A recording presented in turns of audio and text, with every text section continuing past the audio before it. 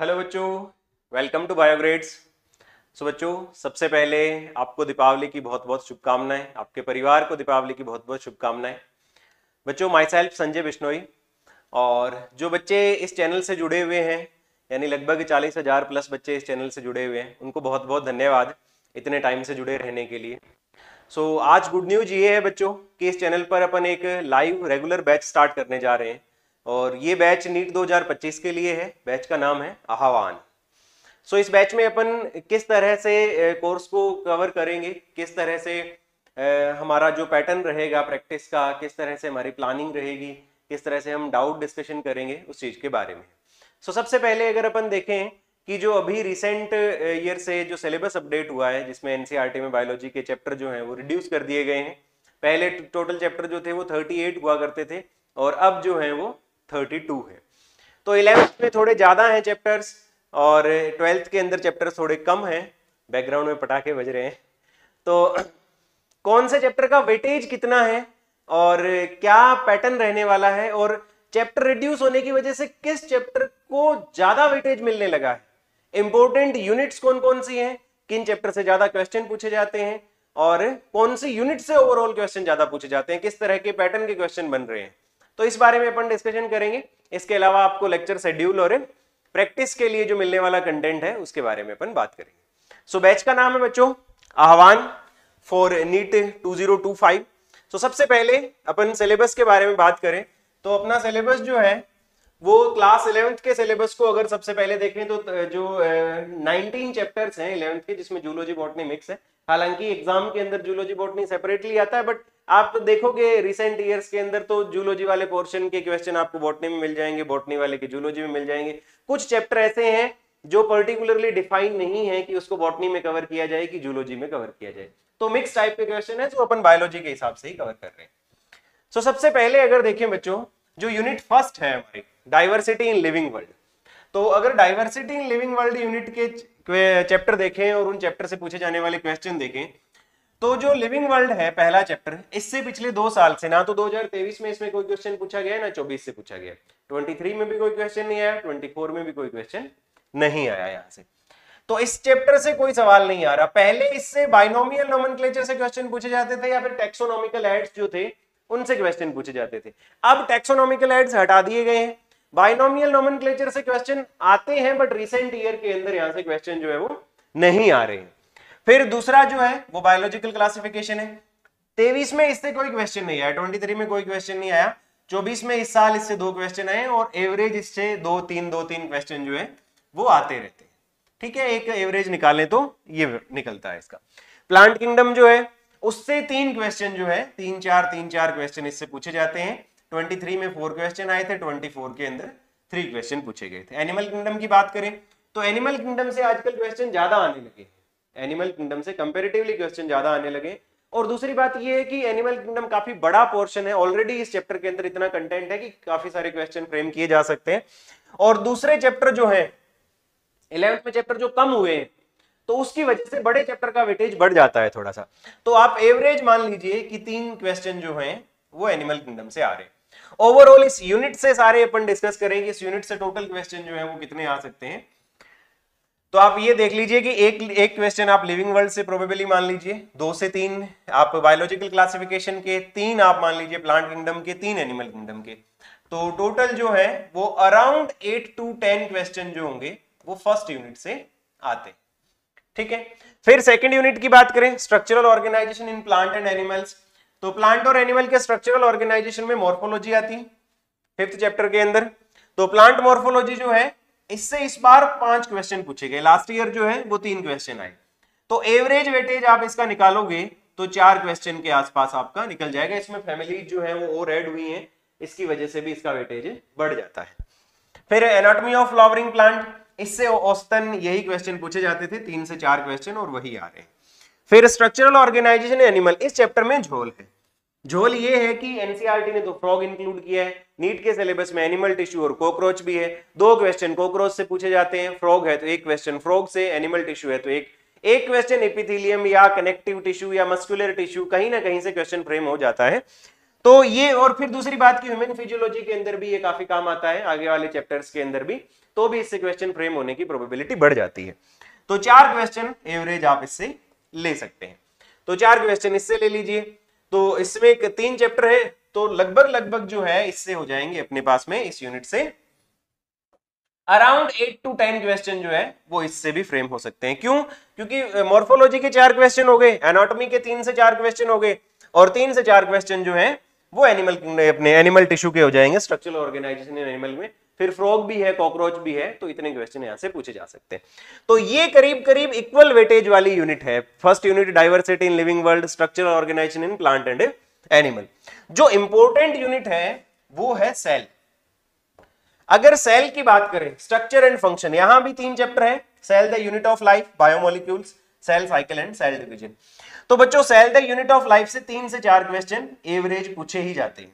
ठीक है? बायोमोलिक्यूल से 23 में फोर क्वेश्चन 24 में सिक्स क्वेश्चन आए। बायोमोलिक्यूल को कई सारे टीचर दो पार्ट में बांट के पढ़ाते दो पार्ट में इसलिए डिवाइड करके पढ़ाते हैं क्योंकि एंजाइम वाला पोर्शन अलग से लेते हैं और बाकी जो मेजर बायोमोलिक्यूल है like carbohydrate protein nucleic acid और लिपिड्स वो पोर्शन अलग से लिया जाता है। तो पाँच क्वेश्चन कहीं ना कहीं, चाहे एंजाइम वाले पोर्शन से लीजिए न्यूक्लिक एसिड जो है वो आगे एमबीआई ट्वेल्थ से कनेक्टेड है, उससे ले लीजिए। प्रोटीन काफ़ी बड़े सेगमेंट के अंदर दिया हुआ है कार्बोहाइड्रेट दिया हुआ है क्योंकि ग्लाइकोजन की स्टार्च की, इनकी स्ट्रक्चर के बारे में बताया गया है सेलुलोज के बारे में बताया गया है तो चार से पाँच क्वेश्चन बायोमोलिक्यूल कवर करता ही करता है। तो एवरेज पाँच क्वेश्चन आप इससे ले ले सकते हैं। Cell cycle and cell division जो है, वो हर साल बहुत सारे क्वेश्चन यहाँ से दे रहा है। तो एग्जामिनर का इस यूनिट पर सबसे खास फोकस रहता है। दूसरी चीज़ ये है कि आपका एग्ज़ाम जो है, वो ट्वेल्थ बेस्ड है। यानी नीट में एंट्रेंस के लिए इस एग्ज़ाम में एंट्रेंस एग्ज़ाम के अंदर बात करें तो ट्वेल्थ तक का सिलेबस पूछा जा रहा है मेनली इलेवंथ और ट्वेल्थ का। तो यानी बच्चे को सेल के बारे में तो नॉलेज होना ही चाहिए ना, क्योंकि आप नाइन्थ और टेंथ के अंदर भी इन चीज़ों के बारे में पढ़ते हुए आ रहे हो।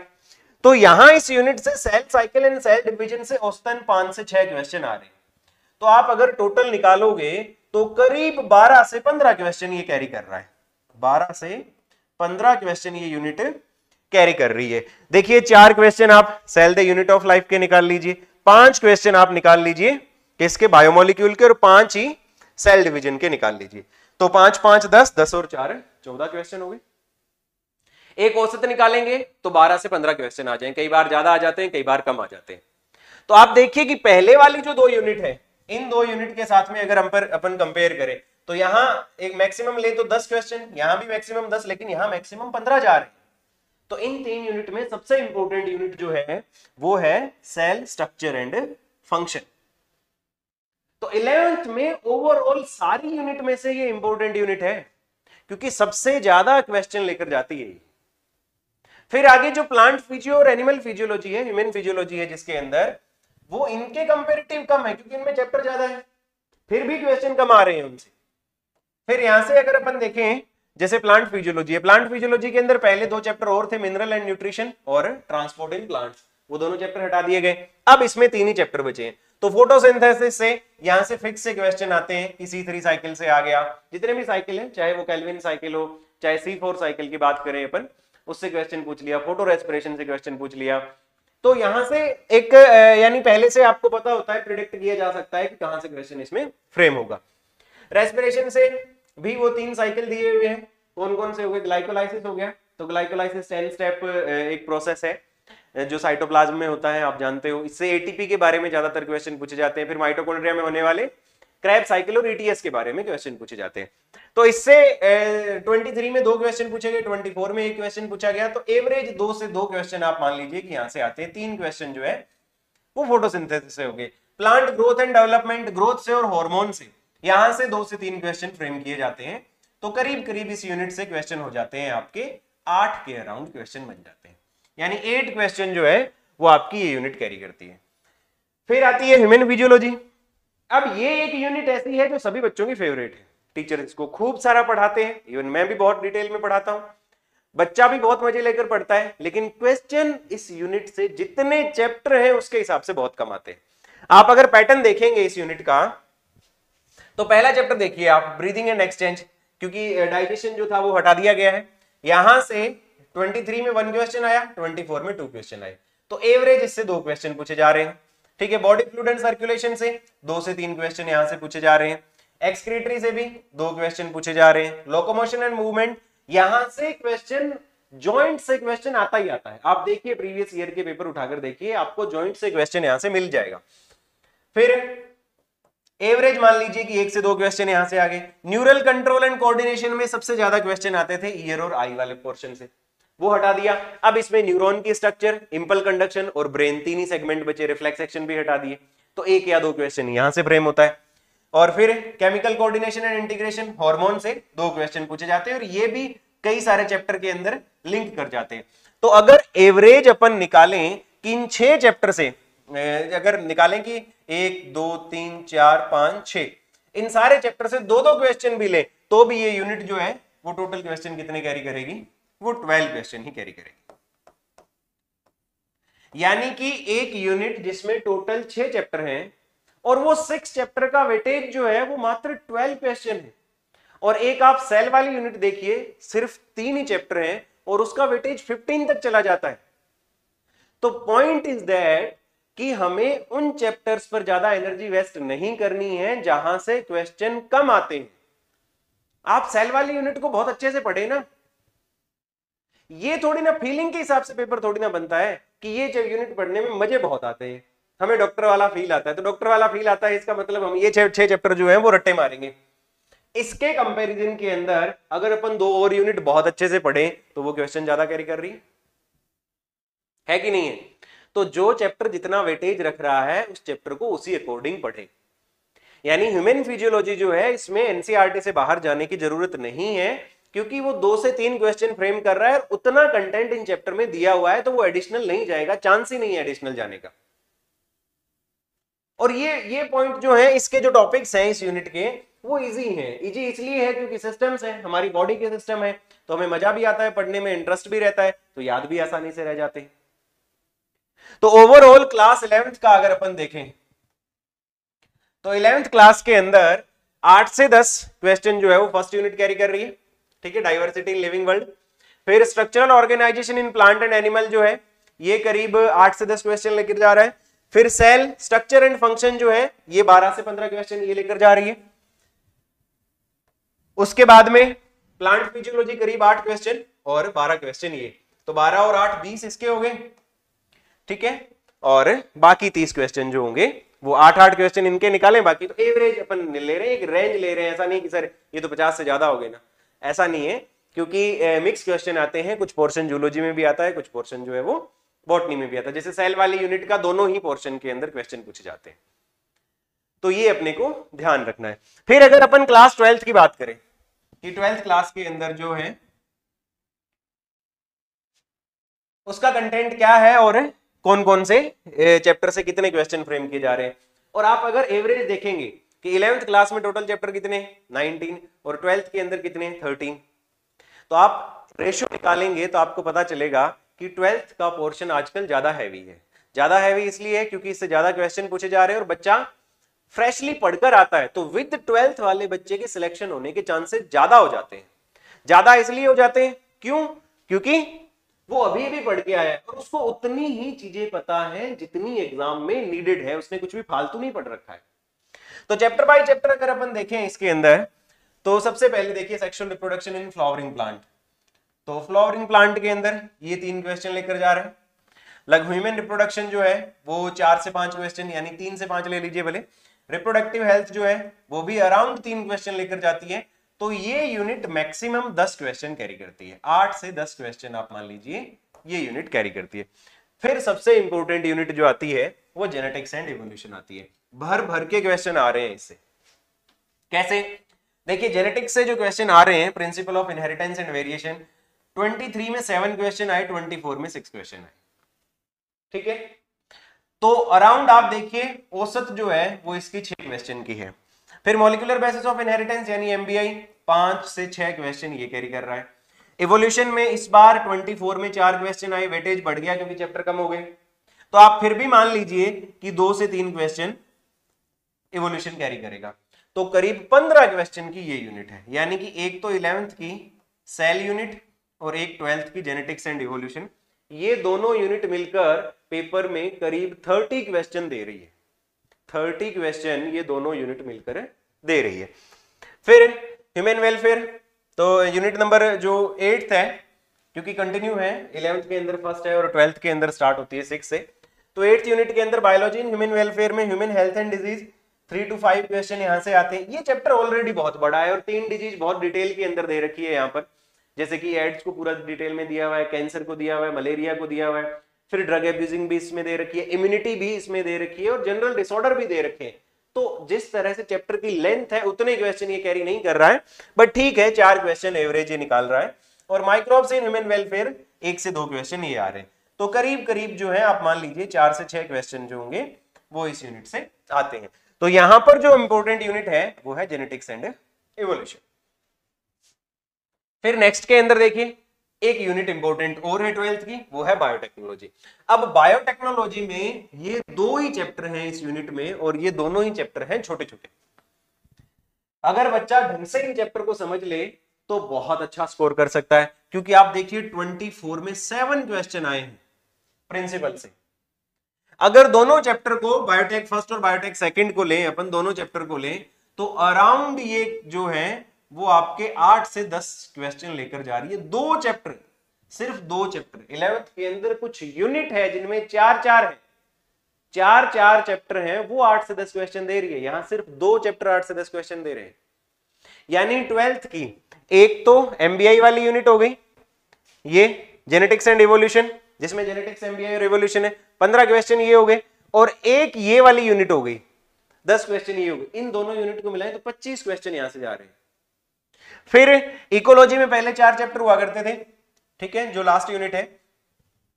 तो अब तीन हो गए। ऑर्गेनिज्म एंड पॉपुलेशन में भी जो इन्वायरमेंटल फैक्टर के साथ में इंट्रक्शन था, वो हटा दिया गया है। तो चार क्वेश्चन जो थे 23 में आए और दो क्वेश्चन जो है, वो 24 में आए। इकोसिस्टम से 24 में एक ही आया, लेकिन बायोडाइवर्सिटी से सारे क्वेश्चन है 24 के अंदर फाइव क्वेश्चन जो है, वो बायोडाइवर्सिटी एंड इट्स कंजर्वेशन से आए। तो इकोलॉजी जो है, वो भी अराउंड अराउंड अगर आप देखें तो तीन क्वेश्चन यहाँ से मान लीजिए, दो यहाँ से मान लीजिए। इस बार इससे ज़्यादा आए बट दो से तीन क्वेश्चन यहाँ से भी आते हैं। तो करीब आठ क्वेश्चन जो होंगे, वो इकोलॉजी की यूनिट भी कैरी करती है। अब अगर इसको अपन समराइज करें कि कौन सी तीन यूनिट सबसे ज़्यादा क्वेश्चन लेकर जाती हैं, और कौन सी तीन यूनिट जो है, वो हमें बहुत अच्छे से आनी चाहिए तो इलेवेंथ में सेल स्ट्रक्चर एंड फ़ंक्शन हो गया जिसमें तीन चैप्टर है cell the unit of life biomolecule cell cycle and cell division फिर ट्वेल्थ के अंदर जेनेटिक्स एंड इवोल्यूशन में से जेनेटिक्स हो गई एमबीआई हो गई रिवोल्यूशन हो गया और फिर बायोटेक्नोलॉजी के दो चैप्टर हो गए। ये तीन यूनिट मोस्ट इंपोर्टेंट यूनिट है जो करीब करीब आपके 40 प्लस क्वेश्चन लेकर जा रही है। क्योंकि 15 क्वेश्चन के आसपास सेल से कर लीजिए 15 क्वेश्चन ही आप कहाँ से कर लीजिए? जेनेटिक्स एंड एवोल्यूशन से और करीब 10 क्वेश्चन बायोटेक्नोलॉजी से ले लीजिए। तो 40 के अराउंड क्वेश्चन जो है 35 टू 40 प्लस भी चला जाता है कई बार। 35 टू 40 प्लस क्वेश्चन यानी पेपर का हाफ़ जो है, वो ये सिर्फ़ आठ चैप्टर कवर कर रहे हैं। तीन चैप्टर सेल वाले में है। तीन चैप्टर किसके अंदर है? जेनेटिक्स एंड एवोल्यूशन के अंदर है और दो चैप्टर बायोटेक के।